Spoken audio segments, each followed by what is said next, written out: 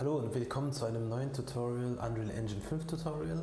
Ähm, heute zeige ich euch, wie man Animationssequenzen über Blueprints steuert. Äh, ich befinde mich wieder im Third-Person-Template ja, und äh, wir beginnen ganz einfach, indem wir erstmal auf Windows gehen und dann Place Actors. Ja. Dann tun wir einen Cube hier reinstellen. Ja. Unser äh, Gedanke ist, äh, hier eine Tür zu machen, die auf und zu geht, sobald wir über eine Triggerbox laufen. Und diese Animation soll dann über, äh, die Animationssequenz soll dann über eine Blueprint gesteuert werden. Ja? So, das können wir, wir können ja mal das hier Ganze, so, ach nee, so, so, so, noch größer, so. Ja, also, wenn der Charakter hier hinläuft, und sobald er über eine Triggerbox äh, läuft, äh, geht die Tür auf. Ja? Wir machen das wieder äh, wie bei einem anderen Video, Add Level Sequence. Äh, hier tun wir eine Animation erstellen. Wo speichern wir das ab? Hier machen wir einen neuen Folder, Animationen. Äh, äh, nee. Tür öffnen. Ja? Tür öffnen, Save. Ja, jetzt sind wir wieder in diesem Tab und wir wissen ja, wir können direkt aus dem Outliner diesen Cube, wir ne-, benennen das mal anders, wir sagen mit F2 Tür, ja, und ziehen das aus dem World Outliner äh, direkt in diese äh, Sequenz rein. Dann können wir die Transform Node runterklappen und dann auch die Location. Und wir wissen ja, ähm, ja. Äh, wir wissen ja, die Transformation, das ist Y, das ist Z und das ist die X-Achse. Wir wollen, dass die X-Achse sich so bewegt, ja? Das heißt, wir, das ist äh, die Y-Achse, nicht die X-Achse, die Y-Achse. Ja? Also wir setzen hier ein Y-Frame bei der ein äh, Keyframe bei der, an der Y-Achse, gehen zu Frame ja, 60, nehmen wir mal, ja, 60 und ziehen das hier raus und setzen einen weiteren Keyframe. Ja. Jetzt wissen wir, Genau, sieht das schon mal gut aus. Die Tür geht auf. So. Ähm, genau. Damit die ähm, Animation auch funktioniert, müssen wir äh, die äh, Sequence Actor auch mit reinsetzen. Wo ist die? Äh, klappen wir das erstmal alles so. Äh, Tür öffnen, genau. Die ist auch hier drin. Ja, sieht man auch. So, Jetzt setzen wir einen Trigger davor. Ein Trigger. Ein Trigger. Ihr könnt hier Trigger eingeben und einen Box-Trigger. Und dann R drücken, dann könnt ihr, geht ihr, kommt ihr auf diese äh, Skalierungsfunktion äh, und könnt dann an den jeweiligen Achsen ziehen. Ja? So. Und wenn ihr Leertaste drückt, springt ihr zwischen Transformation, Rotation und Skalierung. Also jetzt wieder zu den Transformationen und dann zieht ihr erst einmal das hier. Ja? So, jetzt gehen wir in Level Blueprint, hier drauf drücken, Open Level Blueprint.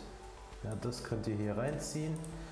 Ähm, wir wollen folgendes, also wir klicken erstmal einmal auf diesen Triggerbox, rechte Maustaste, Add Event, Collision, Add on Actor, Begin Overlap. Ja? So, was soll sich bewegen? Ähm, also was soll abgespielt werden? Ähm, der Tür, Türöffnen-Sequence. Ja? Und dann klicken wir hier einmal drauf, ja? oder hier im Viewport, rechte Maustaste und Create a Reference. Ja? Ihr könnt auch theoretisch, wenn ihr das rauszieht, könnt ihr auch direkt hier reinziehen, ja? als Referenz. Oder wie eben gerade, rechte Maustaste und Create a Reference. So. Und dann schreibt ihr hin Play. Play Sequence Player. Ja? Play, Pause, Looping, Reverse, Play to, hier Play.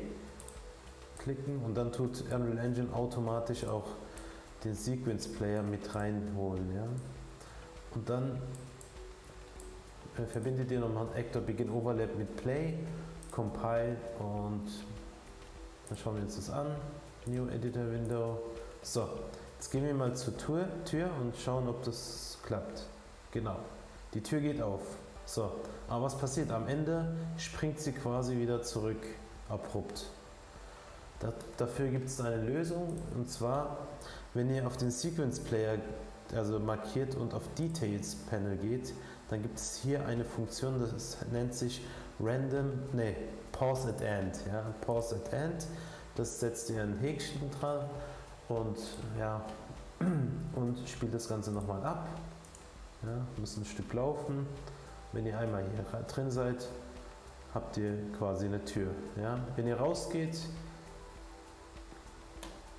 ja, mhm. Ah, genau. Jedes Mal, wenn ich hier durch die Triggerbox gehe, äh, triggert er wieder. Ja? Deswegen äh, müssten wir noch ein, etwas anderes hinzufügen und zwar wir müssten sagen, sobald der Charakter raus aus der Triggerbox geht, soll die Tür zugehen. Weil immer wenn ich rausgehe und wieder reingehe, dann triggert er das ja und spielt das von Anfang an. Das heißt, ähm, wir, genau, wir klicken einmal auf den Triggerbox, gehen in den Level Blueprint, rechte Maustaste, Add Event, Collision, Add on Active and Overlap. Ja, End Overlap bedeutet äh, aber nicht die Tür. Ich sollte die Triggerbox. Ja, ich kriege die Triggerbox. Ah hier drauf, genau. Triggerbox. Rechte Maustaste, Add Event, Collision, and Overlap. Ja? So, End Overlap, ähm, da soll die Tür quasi, ähm, da soll die Animation rückwärts laufen. Also, da soll die Tür quasi zugehen. Dazu gibt es auch eine Funktion, dann ziehen wir diesen Pin raus. Oder wir können ja auch äh, Steuerung W, äh, Steuerung D duplizieren und dann schreiben, wir ziehen hier raus und schreiben Reverse rein, ja. Play Reverse, ja. Das heißt, die Animation wird rückwärts abgespielt. So, nochmal.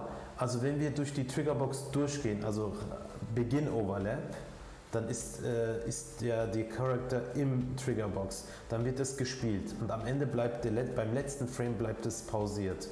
Wenn ich rausgehe aus dieser Box, dann wird die Animation äh, ja, rückwärts abgespielt. Das schauen wir uns mal an. Haben wir Compile, ist sehr wichtig. Und dann auf Play. So, gehen wir wieder an diese Stelle. Sobald wir die, durch die Triggerbox laufen, geht die Tür auf. So, sobald, hier ist ja eine unsichtbare Box, die sieht man ja. Wenn ich rausgehe, dann spielt sie die Animation umgekehrt. Und wenn ich wieder reingehe, spielt sie die Animation wieder. Ja? Und wieder zu. Ja? So, damit könnt ihr ähm, Animationssequenzen je nach Belieben abspielen, pausieren. Ja? Hier gibt es ja auch äh, Play, Play Looping, Play Reverse, Play Tour. Es gibt eine, du kannst an, an eine bestimmte Stelle Pause. Ja? und ihr könnt damit rumspielen. Ja, das war's soweit für heute. Wenn ihr Fragen habt, unten in die Kommentare. Vergesst nicht den Like-Button zu abonnieren. Ähm, wenn ihr Fragen zu den Animationssequenzen habt, gerne. Ähm, äh, wünsche euch noch ein schönes Wochenende. Bis dahin, tschüss.